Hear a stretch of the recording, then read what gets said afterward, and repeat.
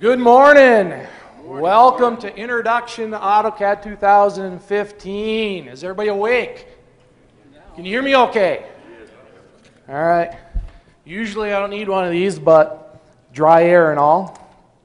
Uh, my name is Professor John Bordeaux, but please call me John. Uh, I teach at Kankakee Community College, which is about 60 miles south of Chicago. Uh, I've been doing AutoCAD since release 10. Uh, I've been teaching 3D since release 14. Uh, and uh, I'm a recovering uh, CAD manager, so for all the CAD managers out there, it's a tough job. And uh, so, uh, let's see. Let's go. If you got a cell phone, please set it to silent, folks. Um, my cell phone is turned off because it has a little problem called butt dialing 911. Samsung calls that a feature, all right? so I just turned mine off. Uh, today's class, we're going to take a look at materials, which is simply stretching uh, like a piece of fabric over an object. Uh, it is not doing engineering analysis. For that, you'll need Inventor. Uh, after we learn how to place materials on and off, we're going to take a look at how we manipulate the materials so it looks better. And we can see this feedback immediately if you're using visual styles. And uh, then later on, you can actually render the whole scene if you like. Uh, we won't do any rendering, saves time in class. Uh, and at the end, we're going to take a look at creating some new materials and how do we add those into our scene. So, uh, one of the things we're going to do today is we're going to make this golf ball package. All right? All sides of the golf ball package. Uh, we're going to have everything on here except for the, even the scotch tape and the wrinkles and all that good stuff. Uh, so we'll create this material, uh, and that will be part of our uh, endeavors today. So our key learning uh, uh, objectives is one, we're going to learn how to attach the materials, and we're going to also remove the materials. So at this point, you only need an introduction level type thing of sol solid modeling. Uh, you don't need any uh, materials knowledge. This is an introduction. Uh, after that, we'll learn how to change the properties of the materials. And then we'll kind of move up the ladder and we'll adjust the material maps to make it look the way we want to look. And then we'll create and modify some materials. So we're going to go from like basic all the way up to um, intermediate and then kind of the advanced topics in kind of that order. Um, so here's our agenda. This is what my plan is. We'll start off with adding and removing materials. We'll change properties of existing materials. We're going to adjust the material mapping. Uh, then we're going to create and modify the materials. And then I have some door prizes. Got to be here to win, right? Uh, and then I'll have questions and answers. Uh, my particular uh, presentation is about an hour 22 minutes long. this is one of my lectures, so I kind of know the pace of it. So I would ask you to hold questions and answers to the end. I normally take questions on the fly, but I found at AU it's better for me because I get sidetracked and I'll probably say I'm going to cover that anyway. So if you could hold them till then, uh, I'll answer all the questions. I'll stick around. Uh, I'll have lunch with you or whatever. Uh, so we'll keep those to the end. So the first thing we're going to do is we're going to add and remove materials. So uh, in our first thing that we want to do is we want to go to our materials browser. And this can be found in our Visualize tab. Now, uh, first thing I want to do is I like to work in vanilla CAD because that's the way I like to teach because right out of the box that's what students expect to see. And I've done all my uh, uh, graphics with that. But I'm going to go and switch mine a little bit so it's easier to see in the back row. Remember I said pick on people in the back row, right? So I'm going to switch that a little bit. Uh, let's go and take a look at uh, how we get there and take a look at our ribbon bar here.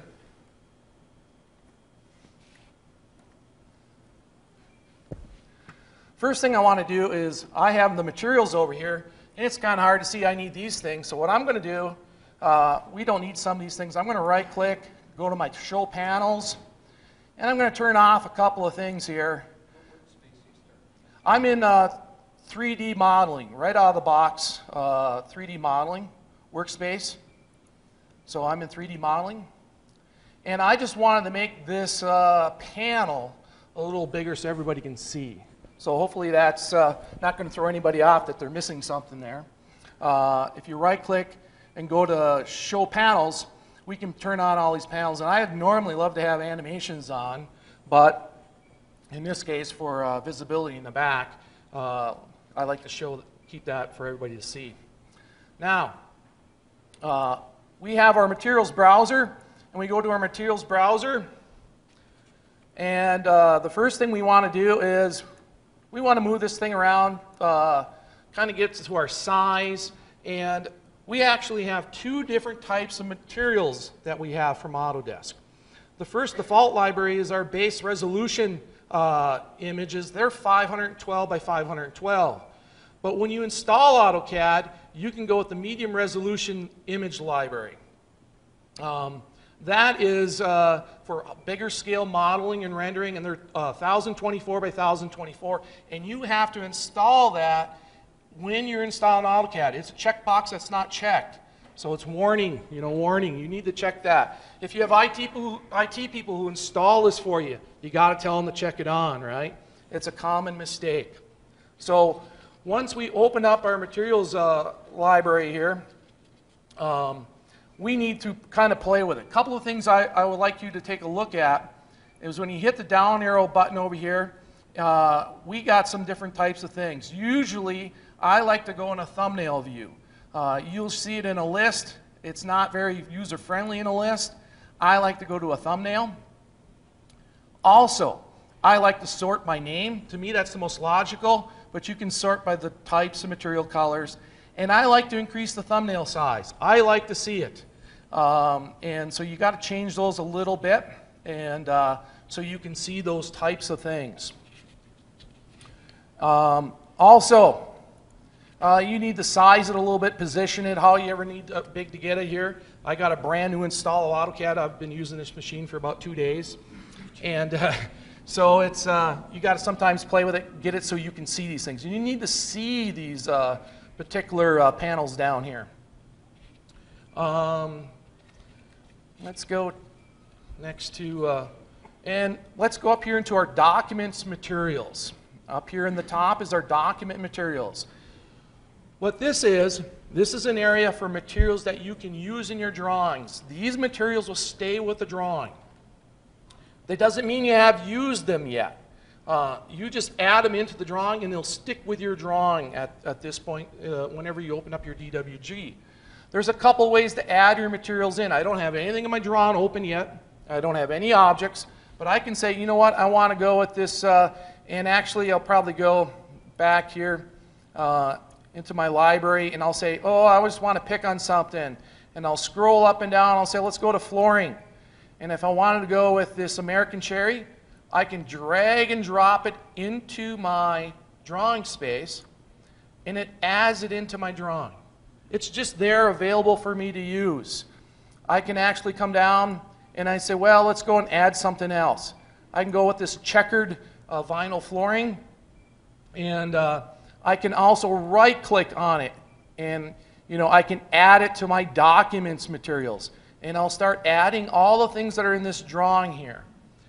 I can also come down and I can add it to the material to the document by clicking on this little button here right on the image and that will throw it up in there. So I can put the, for example, burgundy up in here.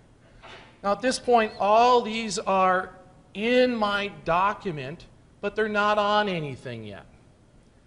At any time, I like to right click, right? The best friend we got in software is right clicking.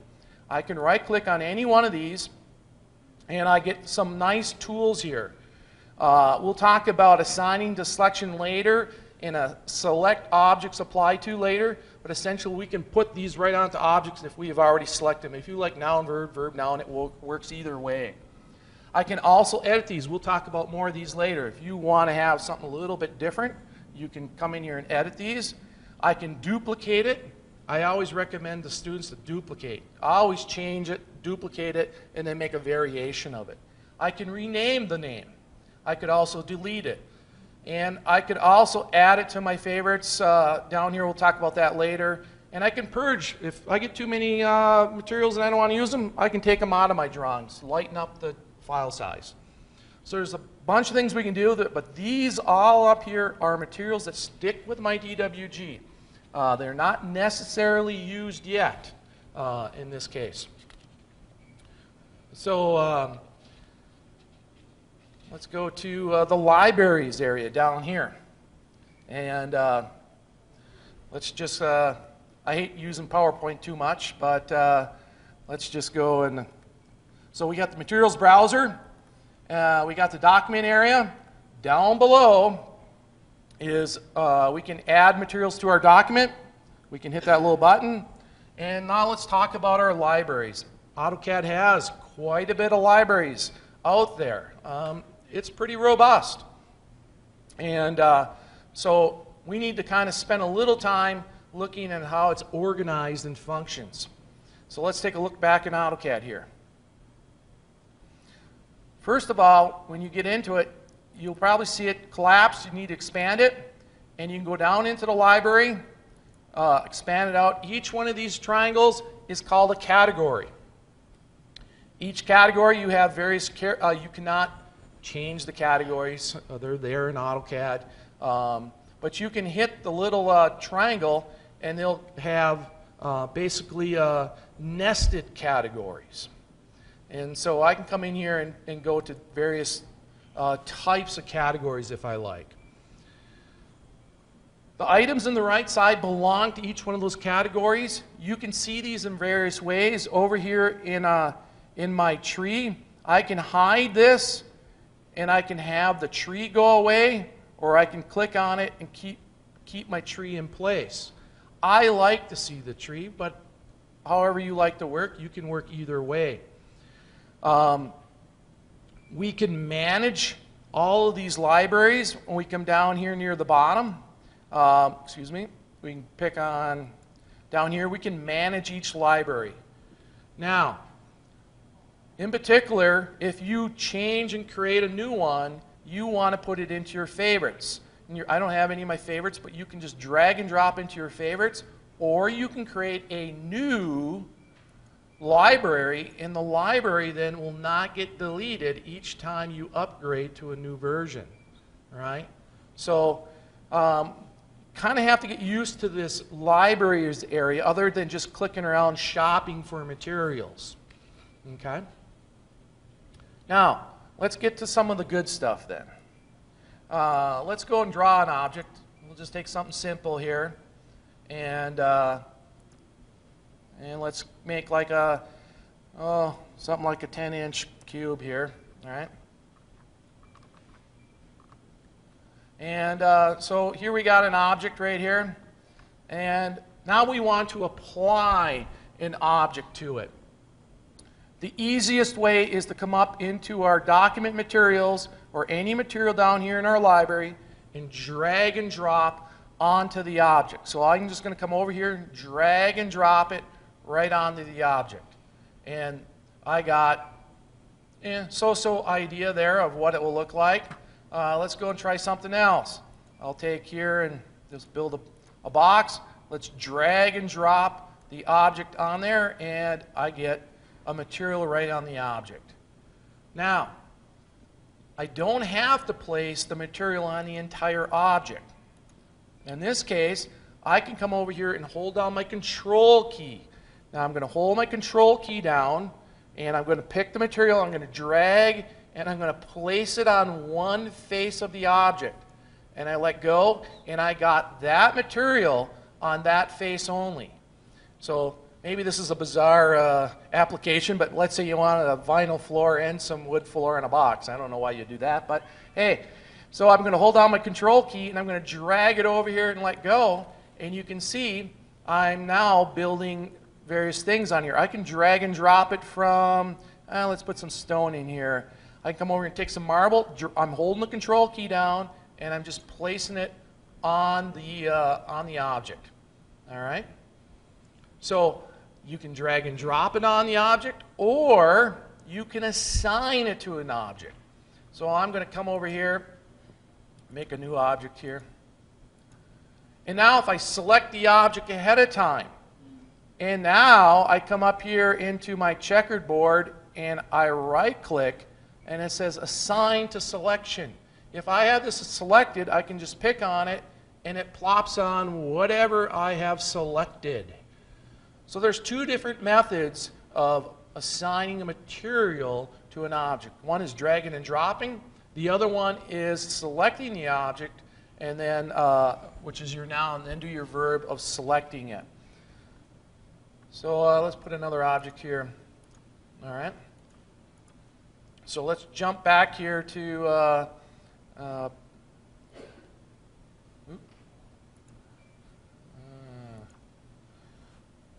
so we applied the materials, we've dragged and dropped, we have assigned it to a selection and we have it selected first.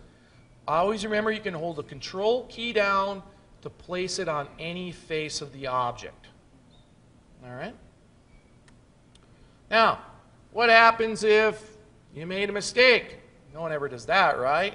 We need to remove a material a lot of times because we change our mind.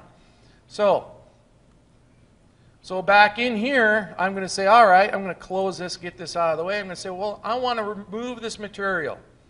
I'm going to go back up to my Visualize panel. All right. I'm going to go over to my Materials panel. Sorry, Visualize tab.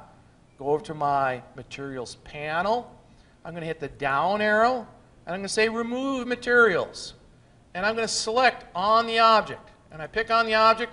It will remove all the material from the entire object. Now, I'll do that uh, I'll come up here again. I'm going to do that. I'm going to say, let's remove materials. And I pick on the object, and it takes it no matter what shape it is, if it's a you know, shape or form of the 3D object, it takes it off of all sides. If I want to just take off one face, I come up to the materials, and I say remove materials, and I hold my control key down. And I hold my control key down, I select the face, and it removes the material from that particular face. I want it, I can actually select multiple faces and it'll do multiple faces as well. So I can remove the materials up here by hitting my down arrow and use the remove materials. Now, word of warning. If you just pick on the object and say, I want to delete the materials, you've deleted the whole thing. That's not going to work, okay? So you want to want to use the remove materials. Now, usually students have a question and say, can I have two materials on top of each other? No, right? If you have a material, I can't drop another material on top of another material. It will replace the material, okay? So if I go up into my materials browser and I take my checkerboard and I drag it on here, it just replaces the material. It does not, you know, have two layers of it or anything like that. So, um, you know, if you want to do that, you can segment, uh, break up your uh, solid model and you could put things on different faces, but you can't have stacked materials. All right? Now, I like to assign materials by the object, by the face, but sometimes that's a little too slow for uh, everyone. So, uh, if we go over to, uh, we can attach materials by the layer. Now, I can go in there and apply a certain material to everything in the, in the drawing. Say, all the walls will get this layer. All the flooring will get this layer. And whatever's on that layer, boom, you got that material. It's a lot quicker, more efficient, um, and it works uh, works just as well, uh, technically, to have the layers on there. So let's take a look at adding material by the layer. All right. I'm going to kill this one off. And I'm going to go down here and uh, let's see. Oh, I want to go right back there. And let's go to this living room. This is a simplified living room. It's not going to win any Academy Awards, right? But it has layers. And, uh, and let's just prove it here, right? We go to layers. And uh, there's my layers. And right now they're just assigned various colors, probably nothing to do with what kind of materials are on these things. So let's go in up into my Visualize tab, go over my Materials panel. I'm going to hit the down arrow. In the down arrow, I'm going to say I want to go to Attach by Layer. When I go to Attach by Layer, it'll bring up a dialog box for material attachment. It has each one of my layers listed here. I can scroll up and down, and right now they're all global, meaning there is no material assigned right now. But I can come over to my sofa and say, well, what do I want on my sofa? Let's make a grandma's living room, right? Let's put something gaudy on there, right? We're going to go over there and just drag it and drop it, and it places that material on there. Notice it puts a big red X. If I want to get rid of it, I just hit the X. I got the cushions. Let's give her some plaid cushions as well. The feet, let's go with some wood spruce feet, right? The table, let's make it copper, right? And uh, we can go over here. I have all these uh, stereo cabinets. I can, I'm going to skip past some of those and let's put down in the lounge here. Uh, let's make kind of matching grandmas here. Uh, lounge chair here. Um, I got a, some walls. Let's put some wallpaper on there. How about some uh, wall coverings? I got some blue and gray. We'll put those on the walls. And you can put any material you want on there that makes sense, realistically. But you can put materials that have nothing to do with the object. I'm going to put in here some concrete on the plant. It doesn't matter. It's not going to analyze it as, as concrete. It's just the covering. Yes? It's what's in my document materials, yes. And uh, I could show you that in a minute. Yep, okay, sorry. And, uh, and then when I close, if I have realistic, it's putting all those materials onto each one of those layers. And to go back here, I'm up, going up to my materials browser, and all these particular materials are available in my documents library. And I have already picked some of those, uh, jumped ahead for uh, speed's sake. So I can come in here at any time and I can go down to the down arrow and go to attach by layer. And if I don't like it, you know, I don't like that kind of wallpaper, I can go down to my walls, I can hit the X and take it out and it'll go back to global, meaning there's nothing there. All right? Uh, uh, did I do the wrong one? Sorry, hang on here. Attach by layer. Uh, walls. Pick the wrong one. There we go. So it's a very fast, efficient way uh, to uh, organize things. People, if you're doing a good job with your layers, uh, you can as- assign those materials to it. But you can always, at this point, still override the layer uh, method by dragging and dropping a particular object onto a particular item and override the layers. I don't necessarily recommend that. That's kind of like not using by layer with your layers type thing. But it's possible. If I want to say I want one cushion being different, I could do that if I wanted to. But I don't recommend it. Um, so, really organizing of your layers and then picking your materials. If you need to have different variations of your materials, then basically just create another layer and, and, and satisfy those needs. Now, what happens if I do not, uh, if I go to attach material, if I do not have it, I have global on anything, it's going to apply uh, essentially the color of the layer to that, right? So uh, in this case, I'm not fully uh, modeled yet. I haven't applied it to everything in my room yet, right? So attaching by layer is a very handy way of going. Um, and, uh, you know, if I, I, need to remove them at any time, just remove them, drag them, drop them individually onto a, a particular material, and we can find out then uh, if it has a material or not. Speaking of whether or not it has material, uh, we can go we have to decide whether there is a material assigned to something or not. And uh, maybe it's just gray, right? Or the material's gray. How do you know? Well, we can use the properties dialog box. In the properties dialog box, we can determine what the material is by its name, or if it reads it's global or by layer, we know that it's nothing there. So let's take a quick peek at that.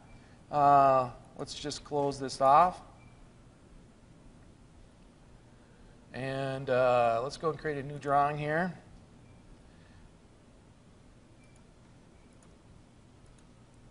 And I'll have a couple of boxes here. I'm going to go up into my Visualize tab. I'm going to go to my Materials Browser, and I'm going to pick on a couple of things here. Uh, let's go with uh, wood. Let's put uh, let's put my cherry up cherry here, and let's go to vinyl. Let's put some black and white checkered. And let's just say I drop this on here. And all right, and let's get rid of this now. Now, does this thing have a material? What kind of material is it? I pick on it. I right click. Oop, pick on it. I right click, and I go to Properties. In the Properties, in the 3D Visualization tab, it tells me the material name right here. I can actually click on that and change it. If you like to work in here, uh, I like to work in here sometimes. I can change it if it's in my document materials. Okay, and I can just come over here and change. Now, if I picked on this one, which I didn't put any materials on, and I right click, and I go to properties, you'll see it's by layer. So that means we have not assigned anything to it. Now, I could also, we removed materials before by coming up here and saying remove materials. I could pick on it, right click. All right. I could pick on it, right click, go to properties, and I come in here and remove the material. And the way to do that is to pick global. And I pick global, and it goes right back to the default state. So we have now basically learned how to uh, apply materials, uh, and we've learned how to remove it. We've learned how to decide whether or not material is assigned to something or not. Uh, so uh, next thing we need to do is take a look at how the materials are displayed in AutoCAD. So let me jump over to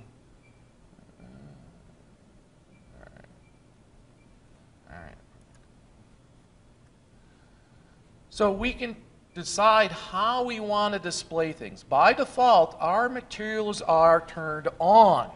Okay, so we get to see our materials, and uh, we have them turned on at, at normal and textures on. Now, you're probably thinking textures, ooh, the roughness or the bumpiness of the material.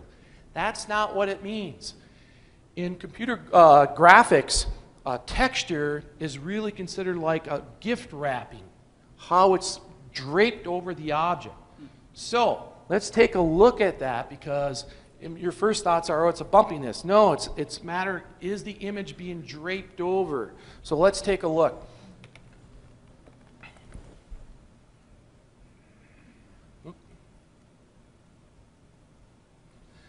So I'm going to drop something on here. Uh, let's go with the cherry here.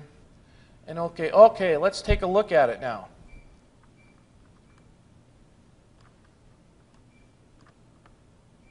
All right. So right now, I have materials and textures on. I can simply turn them off. They're still assigned, but I don't see it. Why would I want to do that? As your model gets bigger and bigger, and you start applying materials to it, you slow down. Okay? My students immediately, they want the coolest looking thing. They got it all in there. And as they start getting a bigger and bigger model, suddenly my computer's slowing down. Well, we can just turn it off, and all of them are still assigned. We didn't have to get rid of them or anything like that. But if I rendered right now, and I'm not going to do that, if I render right now, it will actually render with that material. So it's still there, okay? It's just not, the texture's not draped over it.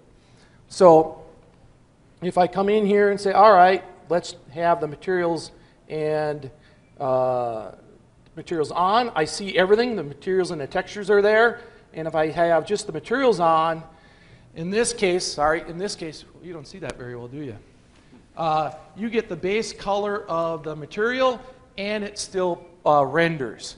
So you can have them totally off, you can have them totally on, or you can have uh, the material applied and it will still render it. I personally like to leave them on until I have a performance problem and then, you know, knock it down a little bit. Um, so I'll turn mine back on. So I like to leave them on until their time comes where it's a problem. All right? So we've now learned how to place it on there, how to, uh, how to, we've, let's go back and recap. Uh, essentially, we've taken a look at our materials browser. We've added material. We've removed material. Uh, we have taken a look at how to tell whether or not the material is on a particular object or not. And now we can turn the materials uh, on and off. And I do recommend uh, that you use re- uh, realistic as a visual style. Okay? Um, so if I come over here into my in canvas controls, I like to go to my realistic. And you can see changes on the fly when you're, when you're going with your visual styles. And so you can see things on or off, uh, you know, how they're progressing as you model. All right? So, next uh, learning objective we have is let's change the properties of an existing material. Uh, maybe you got a material uh, that's close, but it's not quite. Uh, maybe, for example, I have a driveway um, and I want the concrete to be stained. Right? I have a bluish greenish rock on my, uh, my house, and I want that concrete to be that color. Well, there isn't that exact color of concrete in our materials library, but we can go in there and make simple changes to one that's very simpler, uh, very similar to that. So let's take a look at that.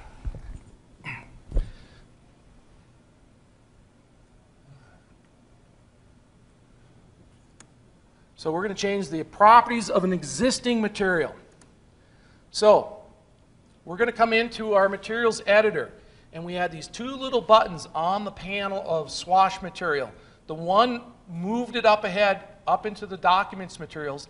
The other one's going to open it up into a materials editor, all right, and allow us then to uh, make changes to that.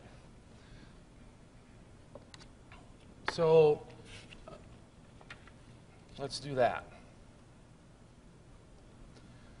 So I'm going up to the materials browser, and I can take any particular one, and as long as I was talking about concrete here, let's go to concrete. And uh, let's find something like, uh, uh, let's go with, uh, let's go with a flat broom gray. And right here I have a little button. This button puts it up into the materials editor. This button adds it to the materials document and opens it up into the editor. So I click on this button, and now it gets thrown up above to use. I now can see all the, uh, the belongings of this, if you will.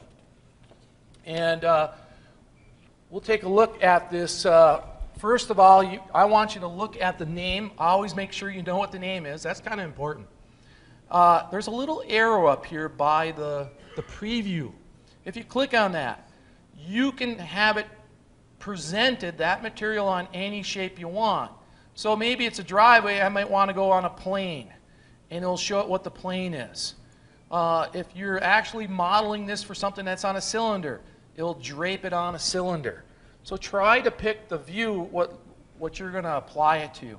It's just presenting what it will look like on that shape. Um, so we have about 12 of those that we can pick. We also have four different qualities of preview. And typically you want to set it to the fastest one because we don't have time just to see the preview to, to generate. Uh, this isn't dictating how high quality it will be when we render. This is just seeing what the preview will be like. So I like to go with the fastest uh, in this case. Now, once we've picked on it, we can come in here and make any changes we want. In my case, I wanted to go with that, uh, uh, I wanted to go with the greenish gray, and I'll just say it's John's uh, driveway, right? And I'll pick on a color, swatch, and in here I can kind of just come down here and, and pick a greenish gray color, say okay, and now I can get that preview up here of that color. And so I've now just made basically a change to that material. And it's a simple change, uh, but it does a lot for me. So now, uh, let me see here. Let's throw it on this one over here. So now all I got to do is drag and drop, and there's my green stained uh, driveway. Okay? So it's actually very simple to make changes to the materials uh, on the fly, and it's in the drawing now. And so I have that renamed. I always like to rename them uh, to something that you know what it will be. Uh, so, you know, don't have bad layer names, don't have bad uh, material names as well. John, Yes?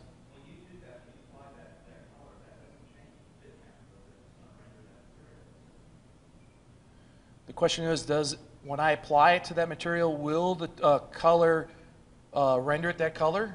Is that the question? Uh, Yeah, it's going to render it, when I run a render on this, it's going to render it to this particular color and this material. Whatever I set in that editor is what it's going to render as. Sure. So I'm going to edit this material.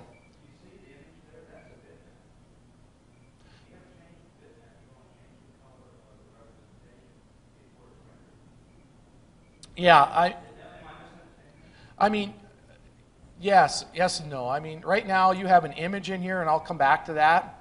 And this image is actually um, really overriding that right now. But I guess my, my point is I can come in here and make any changes I want as far as uh, reflectability, and I'm going to cut. I'm going to get to these a little later, so I don't want to get into any one of those in particular right now.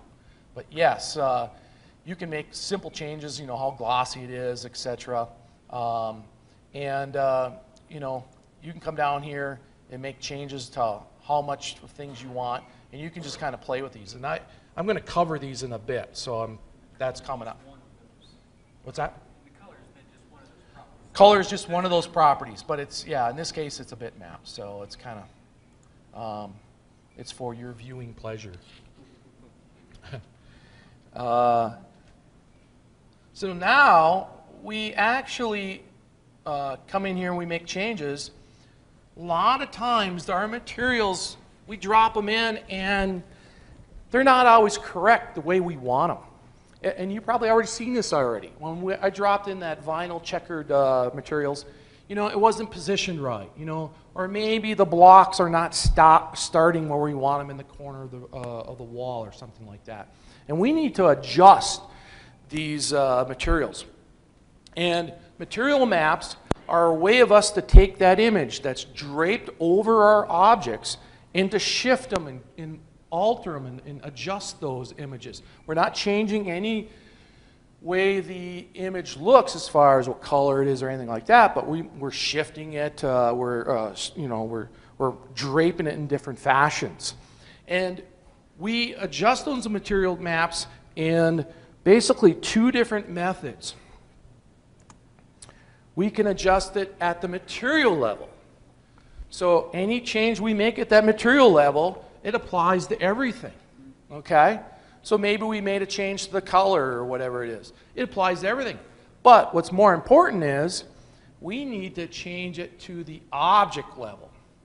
And that's called material mapping. At the object level, we can take each object and shift and transform how we drape that gift wrapping paper over the object. So um, we're going to take a look at these material mappings, and uh, let's take a look at. These are called object level adjustments. Over here, we have a button. We can come down in here, and we have four different types. We have the planar, box, cylinder, and uh, spherical. Typically speaking, you want to use the material mapping in which your shape is. In this case, I have a box. I probably want to use a box, but not all the time. Uh, remember, it's whatever outcome you want. So, in some cases, I might want planar and have it projected just on one side, or I might want it look like it's a soup can and have it project through the cylinder of it. So, I think you'll see this visually when we take one image and we do it to different uh, material mappings, how it works here. Uh, so, don't be confined with, oh, it's got to be a box because mine's a box. Um, so I can do planar mapping, for example. Here I have the original on the right and over here on the left, and I took that map and I pressed it through the object, and I get then the different coloring of the checkerboard. Now, if that's the finished product you wanted, you're good, right? But if you wanted it to look like the one on the right, more of a box one, well, then we'd jump and use the box uh, material mapping. So in the box one, now we're, we're wrapping the gift wrap on all sides of the box, and we can adjust how it looks. So in this case, we can have how many checkers we want on each side of the box. And it's projected, or in other words, it's draped over the object in uh, the box format. We can also go in cylindrical. And cylindrical is going to look like, hey, we're putting it now on a can, and it's going to then move that stripes around like we're spinning it around. One of those checkers all will get spun all the way around. So it's like it's taking, in this case, it's taking this checker and spinning it all around on top. This one's getting spun all around the top, or all the way around for the second level. If that's the appearance you want, fine. Uh, but you might, it might work better on a soup can type thing. And then we have spherical mapping. Spherical mapping makes it look like a beach ball, right? The beach ball effect, where it, the, the, at the top of the poles, the, uh, they come to a point. Now, in the checkerboard, I was using that checkerboard vinyl uh, material, but it's very hard for squares to come to a point uh, in computer graphics. So it does seem to work a lot better on longer types of things such as you know, oak flooring, you know, when we got the, the bands of oak flooring. Those can come to a better looking point at each pole then. So uh, spherical's a little bit tricky. I would say it's a little bit, uh, what's the word, unstable at times if you're trying to take squares and going into uh, things that doesn't always give you the results you, you would expect sometimes. And sometimes you don't know what you're expecting, you're just trying it out. Um, but that's fine too. So let's take a look at how we do all these.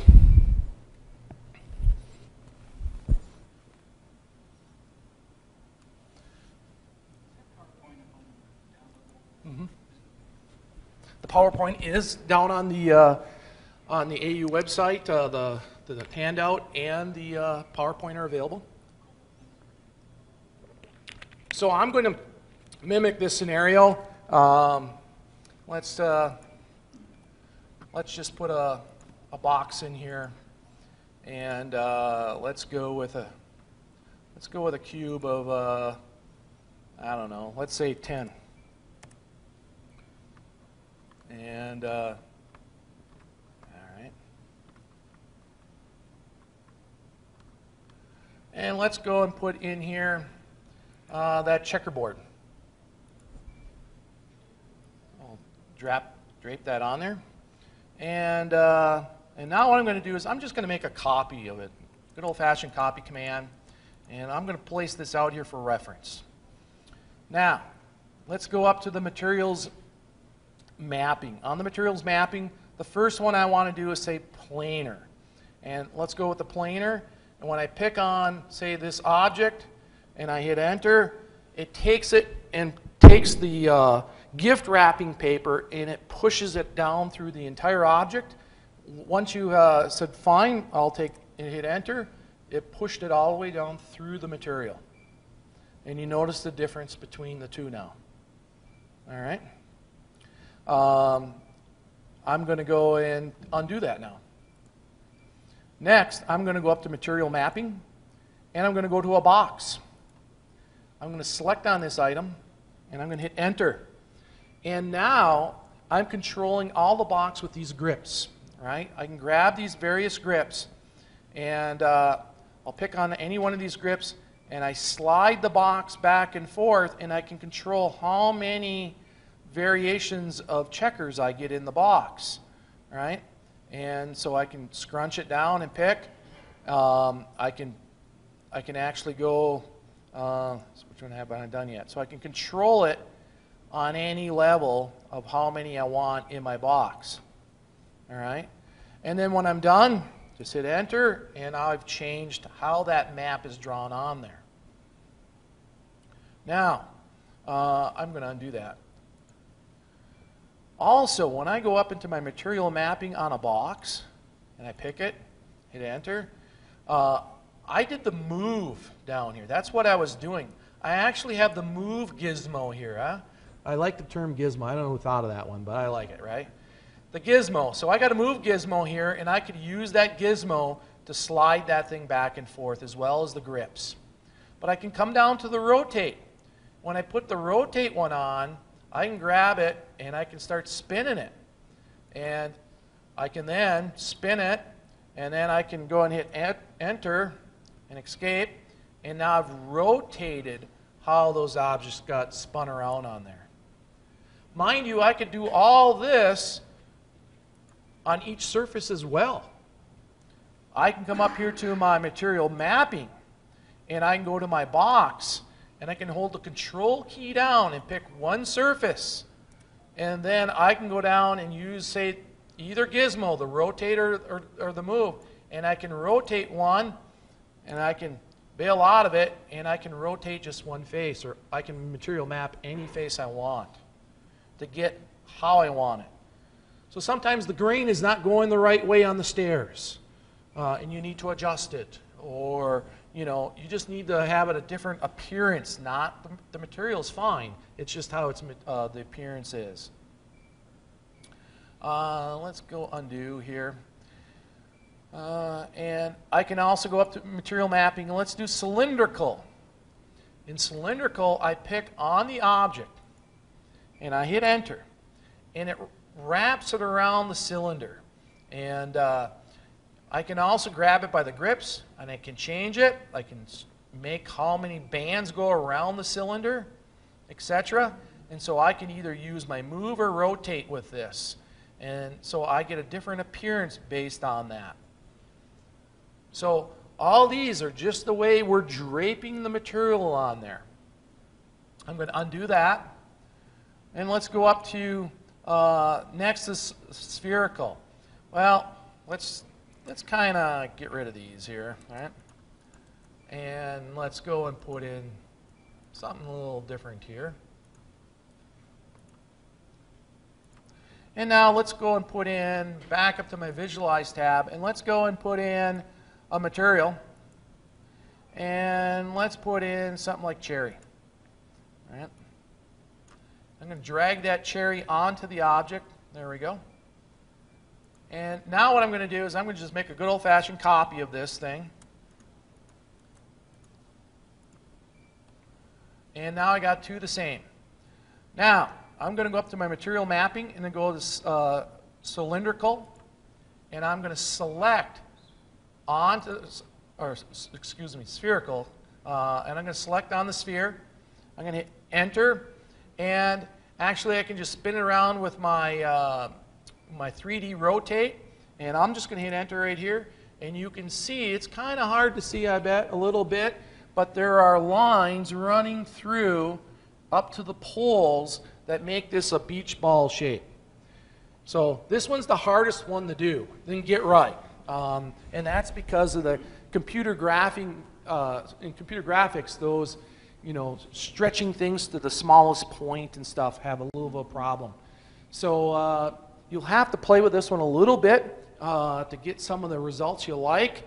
Um, it's probably the least used of uh, my students kind of hate it some in regards. Um, they just get kind of a little frustrated. They don't get exactly what they want. They get it close, but they don't always get it the way they want because uh, when you think of the beach ball, you know, it's kind of bold colors and it's easy to see, and it's sometimes hard to see these things. Um, but I would only use this in really spheres, actually. Okay.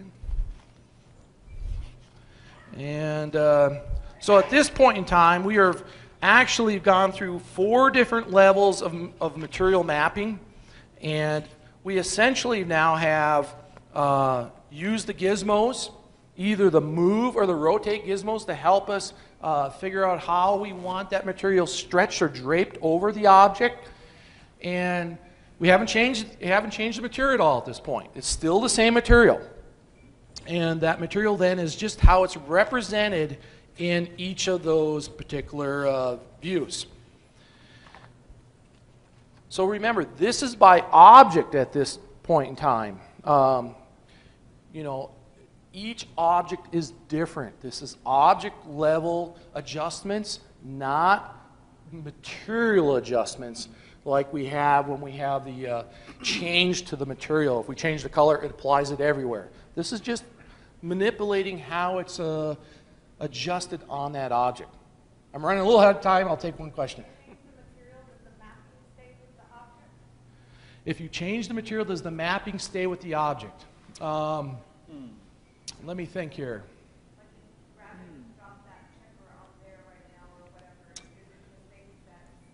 I don't think so. I, I, I let's do it.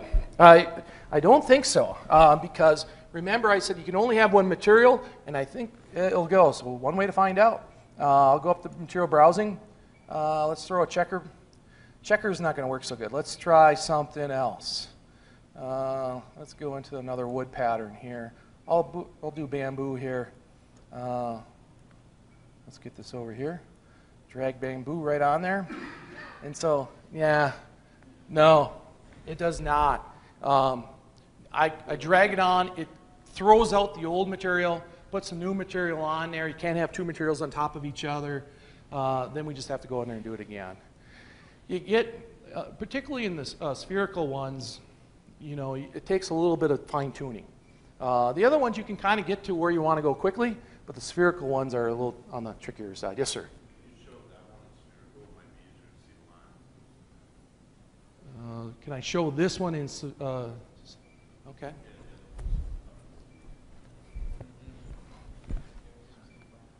So you want to see this one in spherical. Okay, let's go up here. Material mapping. I'm going to go to spherical.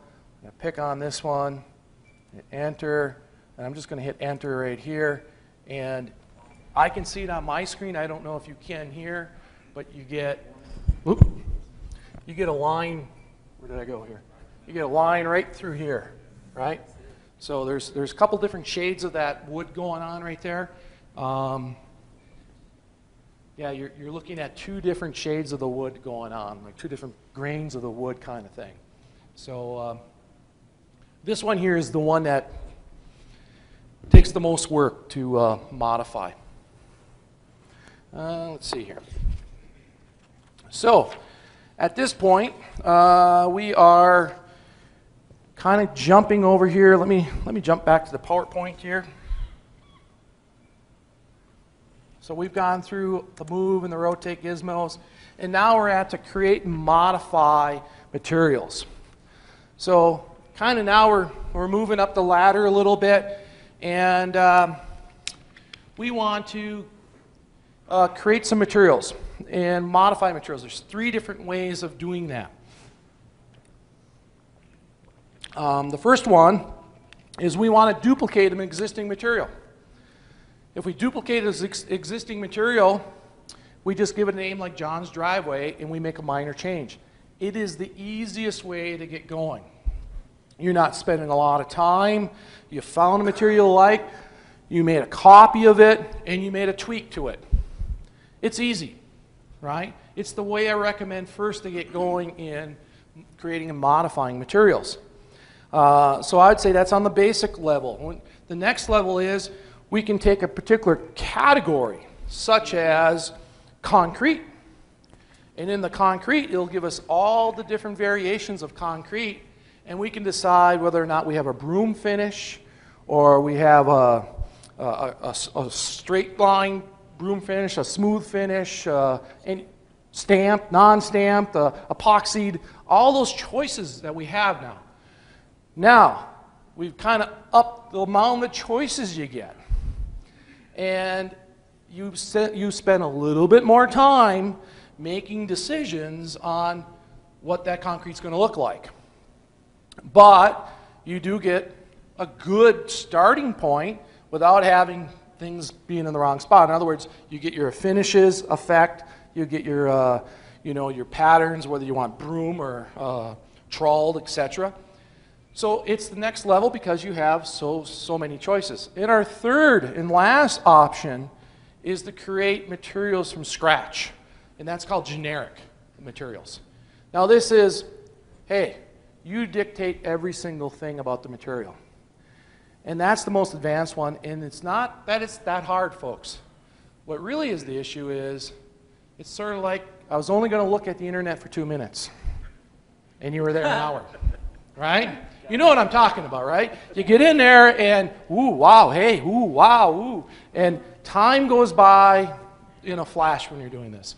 So uh, when we get there, um, I actually recommend the image mapping is the first way to go on that. And that's what we're going to do here is we're going to create this golf uh, box, uh, golf ball box. This is a 24 golf balls. Uh, most golf ball packages are a dozen, but I slice, right? so, let's take a look here. Uh, so, first one is creating a material from an existing material. All right? What we want to do is just use the duplicate command. And the duplicate command can be found in a couple different ways. Uh, one, we can find it down in the text editor. Um, we also can uh, right click on the object and we can go to duplicate. And we're going to just give it a different name. And by default, it's going to go like uh, parentheses 1 or parentheses 2. Give it a real name, right? So uh, let's say I got some uh, American cherry in mind. And uh, let's go back here. Let's get rid of these things here. And let's, uh, let's go in and uh, let's go back to home. And let's put a box in. And I'm going to go up to my uh, Visualize tab. I'm going to go to my Materials browser. And right now I have a material uh, called American Cherry. And if I right click on it, I can say duplicate. And now I got material uh, American Cherry 1. Well, I'm not so fancy about the 1. Uh, that's kind of like having bad layer names. That'll lose points in class, right? And so what I'm going to do is I'm going to kind of call this furniture. All right? And now I've created another copy of American Cherry, and this one's called furniture. And I can come and click on this button, and it'll edit that. Now I can come over here, and I can say, well, this one was used for flooring. Now I can just change it and make this for furniture. And now I can close it, and now I got both variations of this particular material. So it's very simple to use, right? And I recommend that because you can usually find something similar. But keep in mind, you can use sand for a lot of things. That's not sand. It doesn't matter what it's technically called, right? Use it for, use your imagination and name it to what you think it would look like. So you can use sand, for example, in all kinds of applications. You change the colors and whatnot, and you got some unknown material of some sort. So don't stick with what's there all the time, but it's easiest a lot of times to find one you like and just make a variation of it.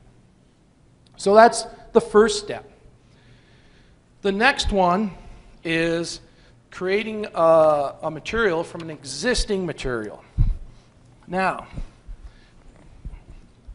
I'm going to come down down here at the bottom and I'm going to click down here and you'll see that I have all these categories. And I can say new using a type. And when I pick new using a type, it say, oh, okay, um, well, which one do I want? Uh, what am I going to use? Let's go with the concrete. And now it says default concrete. All right? Now I can come in here and say I want it to be a stamped uh, bluish gray or something. Right? Blue gray. All right? And now I can just come in here under the color, pick a little different color. I can come in here and pick on a sealant if I want one. I'll go with epoxy. I can come down here in finishing uh, bumps, and I can say, all right, let's go down here and let's go with stamped. All right? And I can bring in a stamp file at this point. Um, and didn't want to go there just yet, but you can make any type of these changes you want. Uh, if I'm just going with uh, other than the custom, I can just come here and say I want it polished. And boom, you've made changes on the fly. You can say I want it weathered or not. Uh, I can say, yeah, I can have it weathered, and I can bring in an image and have that weathered or not. Uh, so you can make changes on the fly based on that type. And uh, so you can kind of make anything you want, and it doesn't necessarily have to be concrete. That's the word of warning I want to give you. Um, and I can also come in here and say, well, I can come in here and make any particular paint, uh, metal, uh, anything you want by the particular ones. I, I'll go with water, for example. In the water, then, you can come down here and say the type of water I want. I can go in here with a uh, ocean, pond, lake, or whatever. I can set the wave heights, etc. And you just have to give it that name. I want a, you know, certain kind of lake, Lake Superior. I want the wave heights to be, and you just kind of give it a name, and there you go. Um, so you get a lot of choices here uh, that are kind of built in inside in parameters. So that's the second level of doing things. Uh, we want to jump ahead and let's go up to, let's go here. So we've done existing material, we've done ex existing material type, and uh, there's all kinds of the, the different uh, categories. Just kind of thumb, the easiest way is to thumb through them a little bit and kind of get an idea what's in there. Uh, you know, the materials, uh, the metals, you know, you say, oh, what are the metals? You can kind of just get a better idea if you just spend five, ten minutes thumbing through each category. You'll learn about what types of things are there. Uh, most efficient way to, to kind of get an idea. We go to our third level is creating a material from scratch. So what I'm going to do here is uh, I'm going to mimic this box. And this box is actually, I measured it, got a ruler, right? Uh, and I draw it with the box command. And uh, then after that, I'm going to create a new generic material. I'm going to give it a name, and then I'm going to pick on some of the settings of this generic material. And so let's go into uh, AutoCAD at this time. And one more. Here we go. And uh, I'm going to close this. And there's my box, all right? Now, first thing I want to do is go up to Materials Browser. And I want to come down to, uh, down here on the bottom, let me pick here, right here on this bottom here, I pick down. I was using the types before. At the very bottom, I got new generic material. I click on new generic material, I can come in here and uh, eh, let's cut down some of the confusion here because uh, I used an existing one. I'm going to purge all of them out of there. Let's get down to zero here. So now let's go up here and let's create a new generic material. And uh, what do we name it here? So, all right, I'm going to name this thing, uh, let's call it tailor-made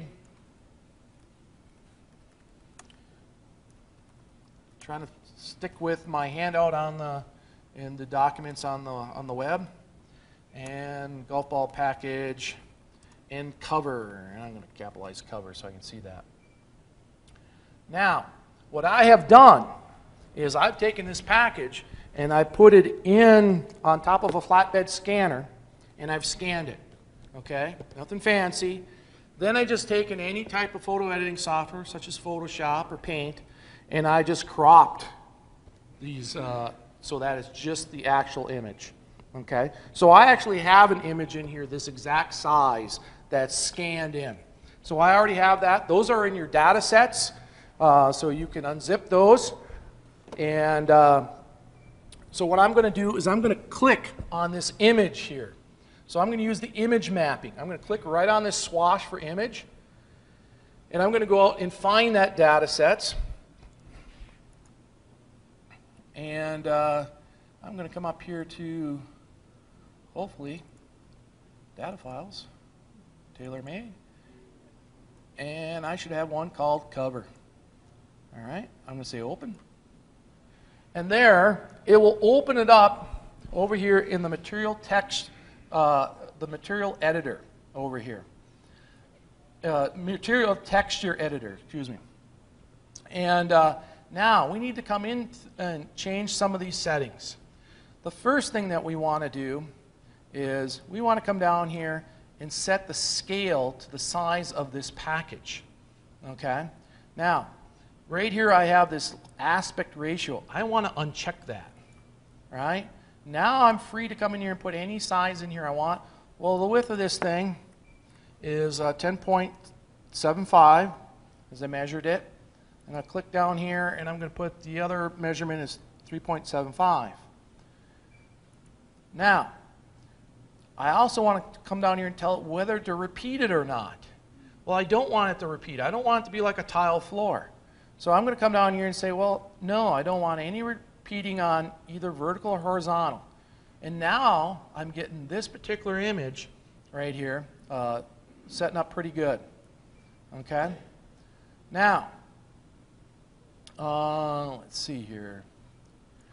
Also, over here on the left, I have my glossiness. You know, how much gloss is on this? And I'm going to set mine to 50. All right? And I'm going to come down into my reflections. And down in my reflections, I'm going to turn this on. And I'm going to set my reflections of how much light bounces directly off of it. I'm going to set that to uh, 5. And I'm going to set obliquing when the light comes in on an angle. We're going to use Snell's law uh, in physics, and we're going to put that at 5. All right? And essentially, then, um, I'm going to close this. And I'm going to close this. And I've created a new generic uh, material uh, called tailor-made golf ball package cover. I want to test this out. I'm going to drag and drop it in. I'm going to use my control key, right? Because I only want it on one surface. So I'm going to use my control key. I bring it in, and I let go, and voila, right? Now, right now that looks pretty good. I haven't even rendered it. I have no lights in here. I don't have any rendering done. It looks pretty good so far. I need to do the other materials. So let's go through and make a new material. All right? So I'm going to come down. I'm going to go into uh, make a new generic material. I'm going to make this thing now, same basic thing, tailor-made, right? Tailor-made golf ball package.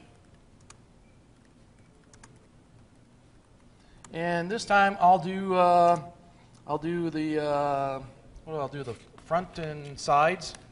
Um, yeah, I'll do front. I'll do the uh, let's do the front and back. Do front and back. All right. And uh, let's go with. Here we go. And I'll come down here. I'll click on the image, and I'll go front and back. I'll say open. Uh, I'm going to come over here again. I'm going to uncheck the, uh, the linkage here, the aspect. I'm going to click in my X down here uh, in my, uh, wrong one here, sorry. To click down here, un uncheck the linkage. I'm going to put my scale in here. Now, this is the front and back, so the front of mine is the same length, uh, but it actually has 0.325 as a height. and I'm changing it to none and to none. Now I just get the fronts and backs. It's the same on both sides of the box, folks. I only had to scan it once. I'm going to set my glossiness to 50, and my reflectivity, again, I'm going to put them same as 5. All right? 8, 5. And I'm going to close that. And I'll close that. And now I have a new one over here called front and back. I'm going to hold the control key down. I'll drag and drop, and boom. Notice I even have the cellophane tape, right? The scotch tape. Now, is that slick or what? Huh? I mean, how long would it take you? Let's think about this. This is the beauty of this is we don't have we, we have one simple box. We're not having to model all the details, so it's computational fast. We're just taking an image, we're stretching it over the object, right? So things are moving fast. We get every little scenario. Now, if this box been traveling in the airport, whatever, you get all the bends, and that's what gives it realistic, right? Computer fake looks, everything's perfect. Nothing's perfect in real life, right? All our materials have some kind of stuff. That little wear and tear is what makes it look good.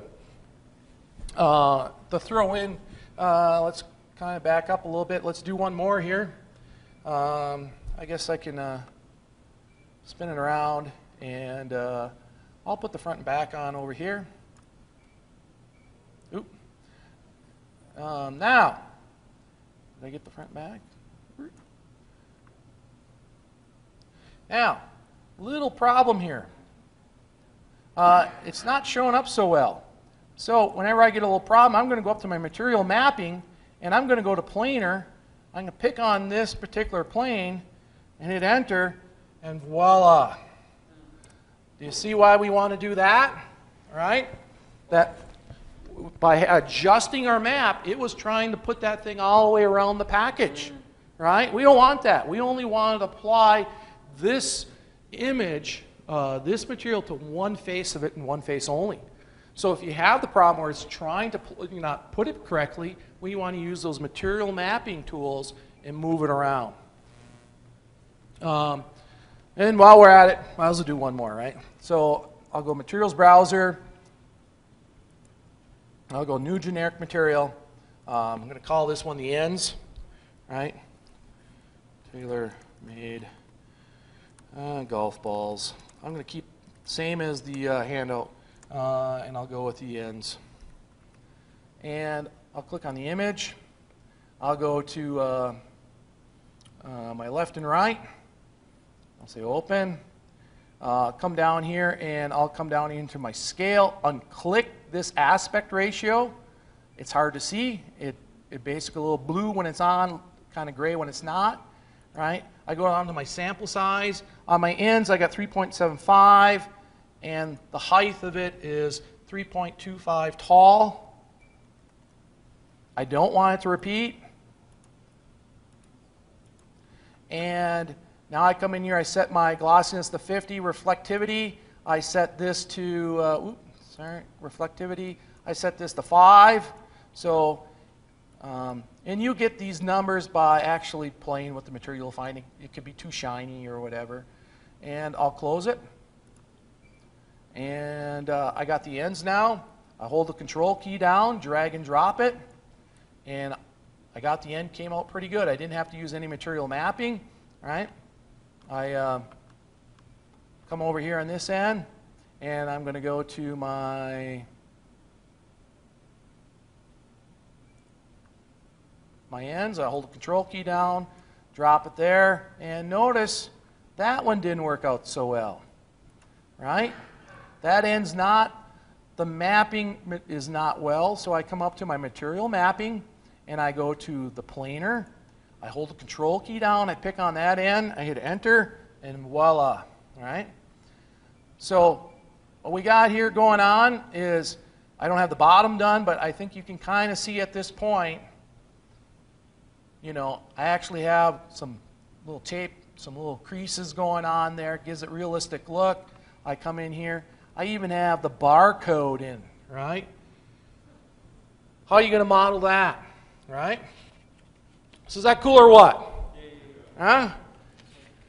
So that's slick. Um, and so, you know, how do we use that? Um, for example, uh, my students have typically used this thing if, let's say, you have a painting on the wall uh, and you're modeling someone's uh, interior environment.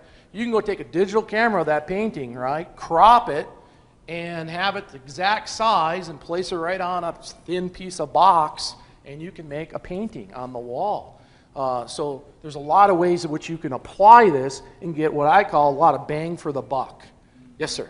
Does the resolution of the scan or the picture have any effect on what you're doing? A little bit, yeah. I mean, obviously, if I take it down to like 480 by 480, you're going to have some issues.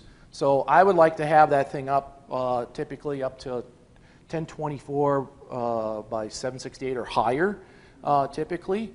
So uh, yeah, uh, you want to kind of clean it. You know, you need to kind of clean it up with uh, some photo editing software. Crop it, make sure you had a high. I mean, you don't want really crazy numbers though, just a reasonable number. One more question, sir. What's the preferred file format? TIFF, GIFs, PDFs? Good question. But, uh, the most preferred file, you know, you can you can use JPEGs. I'm starting to like PNG. Uh, they're what's called lossless. Uh, that they have good compression. Uh, it displays really well.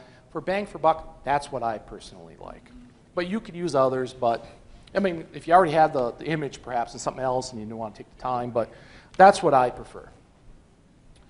So. Um, Let's see, my uh, four, three minutes ahead of schedule.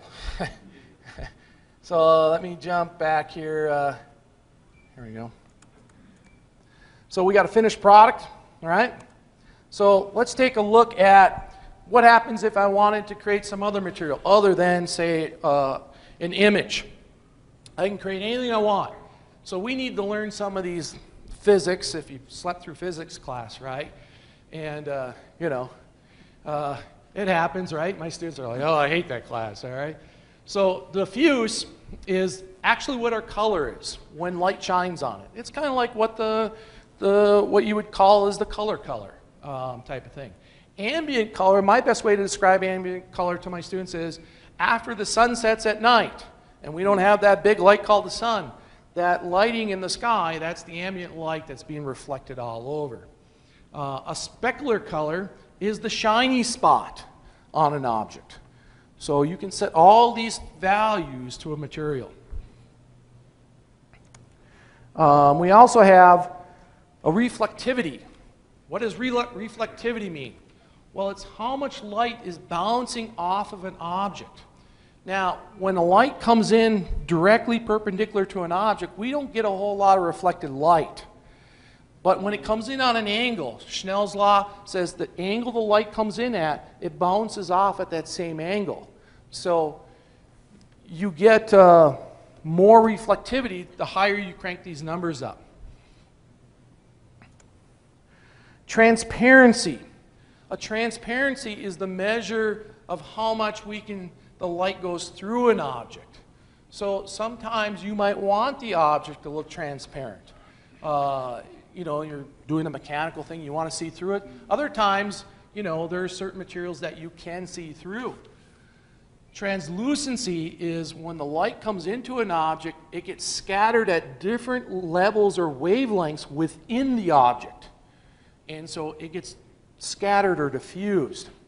Now, word of warning, this one takes a little more computational power than others do. So um, I kind of kind of just word of warning on that one. Uh, but it's, it's fine to do. Uh, it makes frosted glass, things like that.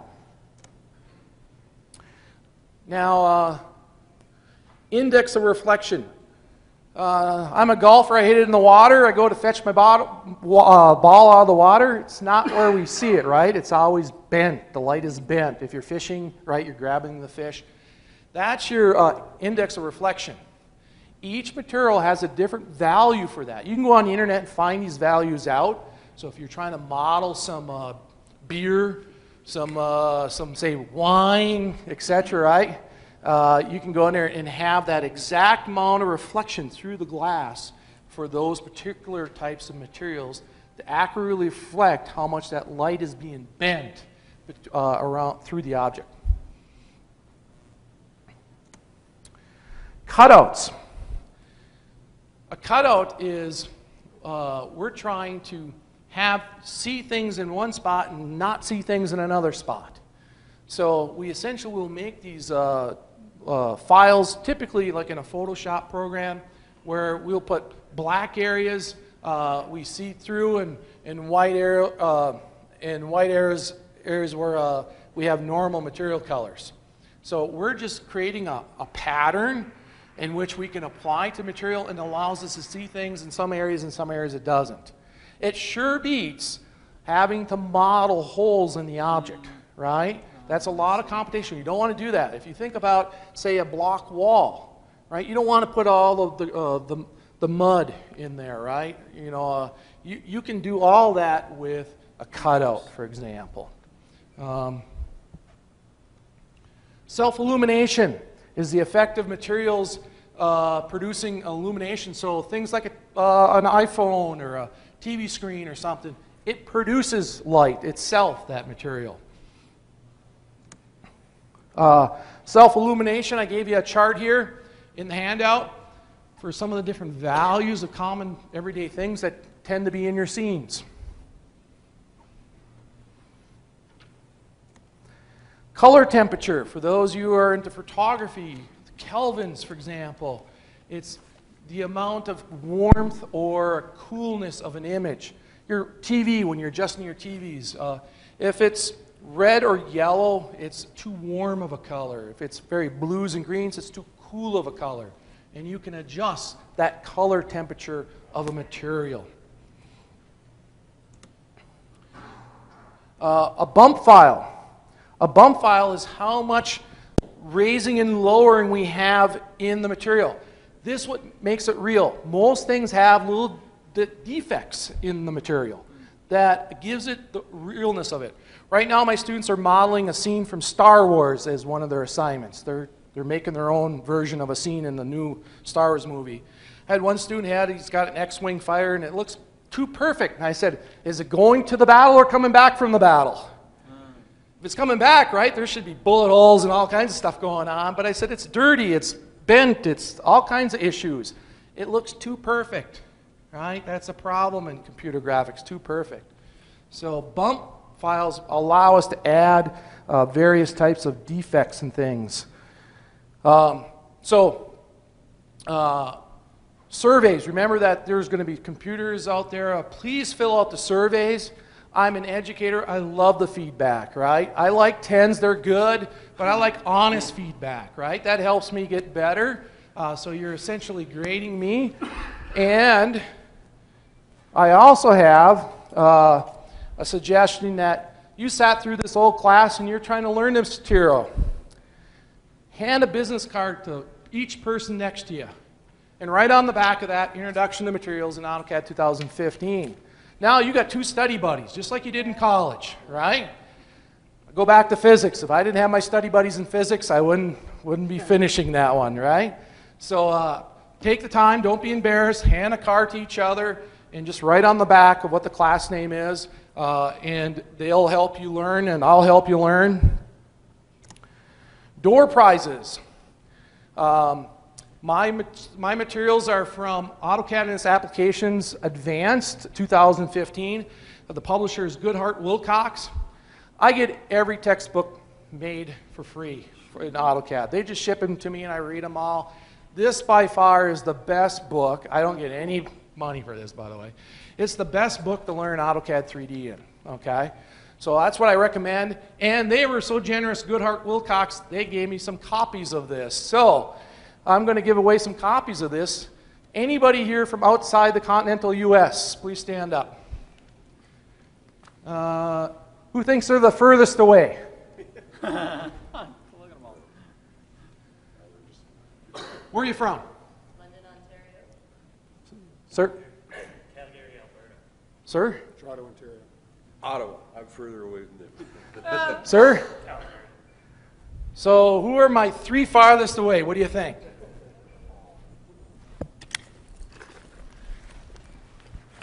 Who's, who's good geography? Who's the three farthest ones away? Ontario? guys. Ontario. Who's the Ontarios? Ottawa. Ottawa.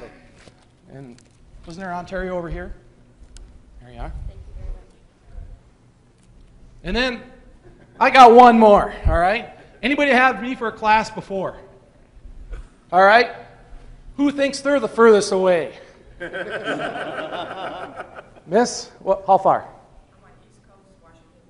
Anybody beat Washington, D.C., further away than Washington, D.C.? New York. Whereabouts in New York? New York City. What do you think? New York? Or Washington, D.C. is further? New York. I think New York might be it. So it's over here. I have one, one of those. So, um, Thank you very much. you're welcome.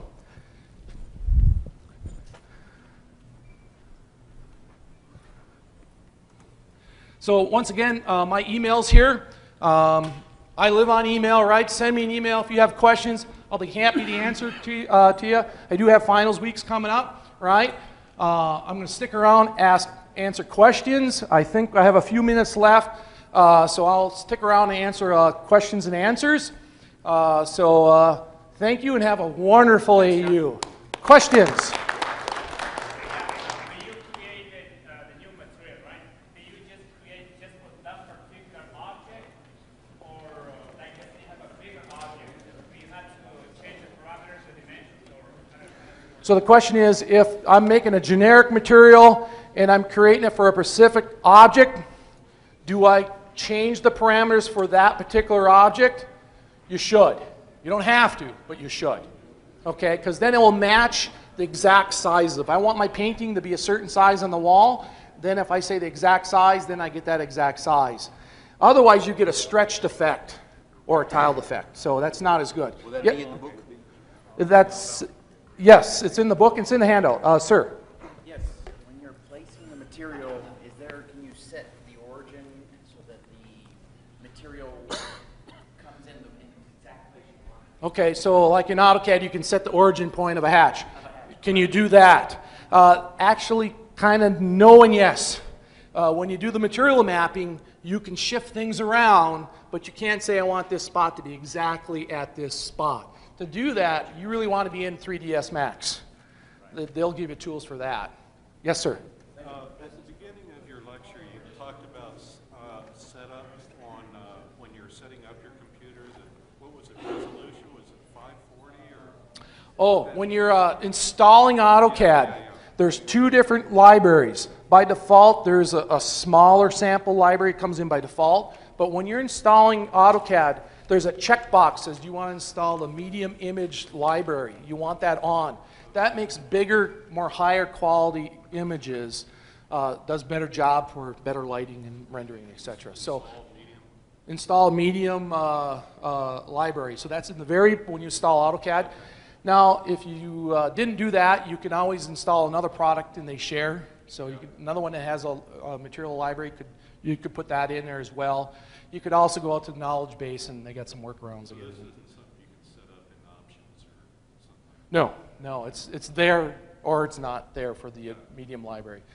Yes, sir. When you're using a JPEG image that you took yourself for an interiors package, you're doing uh, a fabric, a wallpaper, whatever, the light level's not right, it's not seamless. Do you have a preferred seamless software or program that you can take that image into to make it seamless when it tiles? Uh, so the question is, can I, can I have uh, objects be seamless, meaning uh, it doesn't have the tiled pattern look? Uh, you would have to do that when you are creating that material in another program such as uh, Photoshop. You- you had a favorite program other than Photoshop. I you do it in Photoshop, there's some stuff out there that can do seamless. I don't, but there is a class. I'm advertising another class. Let me tell you what it is. And they cover that material in- another class here today or tomorrow. And uh, so uh, let me tell you what the class that is. And they cover that actual topic. Uh, I think that class is. Um, creating high qual. Or no, where is it? Here it is. Uh, Introduction to Design Visualization Concepts. It It's at 1 o'clock Thursday. So that's Introduction to Design Visualization Concepts, 1 o'clock. I saw in their documentation that they cover that. All right? Other questions? Sir. On a 3D solid, um, the materials by default is set to global. What's the difference between global and like ByLayer? ByLayer, when it has not been assigned to something, global means that uh, it's virtually the same thing, but you can set global to say, I don't want a material. Once the material's been on, you can set to global, and it's like taking it off. The So- reason I'm asking is. They're if not you much. Take a 3D model and then pull it into Navisworks, anything that's set with global comes out as black in Navisworks for some reason. Um, Yeah, I mean, a, a little bit of prep work, you would, you could actually select things and go to properties and change it in properties pretty quickly. So I think that would be a quick solve, just to go wipe the whole thing, move it in there, and boom, and change it over. So it shouldn't be all that big of an effort. Actually, I had a question along the similar lines. If we add the material, like your box, if I brought that into Navisworks, is all that imaging going to stay with the object? Will I see it exactly the same in Navisworks as? If I brought an image, I did an image mapping to it. Yes. Uh, I don't know that because I don't use Navisworks, but my guess is probably not because there's going to be a path file issue. Okay. And you would have to maintain that path file issue I'm managing if you wanted it to do it. Okay. Um, So I would say maybe, maybe not. Okay. Um, I'm not sure on that one. If you do it on the same machine, it does. I Right. know a lot of If you- stuff If you do it on the same machine, same path, you You you know, as probably long as could, it's yes. in the folder, it tends Right. to be there. So Navisworks probably, Publish it, you have Yes. to publish the textures Yeah. okay. So other questions, sir? When you're using a lot of the standard materials, Mm-hmm. how can you scale them? You- know, the, like if you're using a wood flooring, Mm-hmm. you know that the wood you're using is four inches. How do you scale them? You go into, um, into that uh, texture editor, and you can go into scale and repeating, and you can change the size of that scale, because it'll have a scale in there, and you can change that scale to be bigger or smaller. Now, I- I saw- globally affects it. I saw that editor when you were creating your own, Right, but you can go into an existing one and change it too. and that's just one of those little buttons that are in the middle. Yeah, Okay. I, I would make, personally, I'd make a copy of it, so I don't Okay. wreck, direct, right, but go in there then and just change the, the scale on some of those, and that'd give you, say, a bigger tile floor, say, if instead of having a twelve by twelve, you could have a twenty-four by twenty-four tile, for example. Thanks, good class. Thank you. Appreciate it. Does this map only to solids, or can I map to other 3D things like a mesh? Uh, good question. Can I, can you map other things other than a 3D solid, like a mesh or a surface?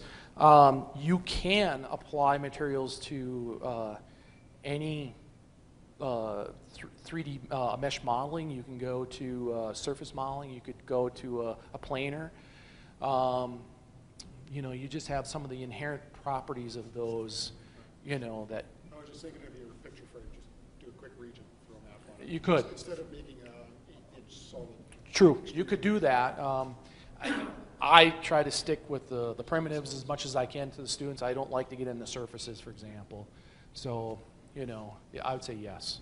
Uh, you could put it on any surface you want, and it should work fine. I'm, I'm kind of migrating away from that, generally, Uh, I- I generally have to admit speaking. I've been playing with solids because I find meshes really Well, generally speaking, the surfaces, uh, students will always, why do you get so nervous? I said, well, you know, it's fine when you only spend 20 minutes working on a project. But when you got months working on a project and you find out a surface is the cause of it, and you could have done a solid, then you'll understand why I feel that way. So, um, I don't know what my time is here, but. I just have one question.